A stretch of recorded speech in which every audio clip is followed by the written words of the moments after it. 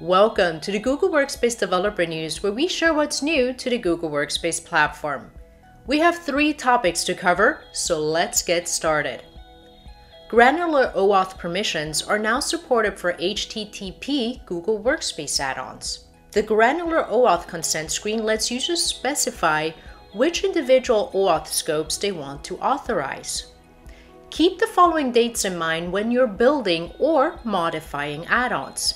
HTTP Google Workspace add-ons built after May 27, 2025 must support granular consent. Existing add-ons have until December 1, 2025 to add support for granular consent. After December 1, 2025, all HTTP Google Workspace add-ons must support granular consent.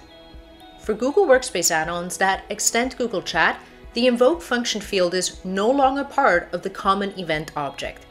Instead, use the parameters field to determine and handle user interactions. If your application used the invoke function field, see this example on screen that uses the parameters field to create interactive widgets. Note that Google Workspace add-ons that extend Google Chat are currently available through the Developer Preview program. We are happy to announce the dates and location for the Google Workspace Developer Summit taking place this year. We will host a summit in Sunnyvale on October 8th and 9th and in Paris on October 21st and 22nd.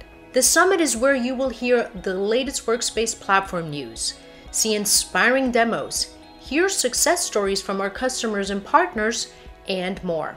Whether you're building solutions within your organization or for the world, this summit is for you. Want to join us? Then fill out the interest form and we'll notify you once registration opens. Did you see the Google Cloud Next special edition of the Developer Spotlight Show? The episode is about workspace related announcements made at Next 2025, the pace of AI advancement, and more. I highly suggest you check it out. See you next time.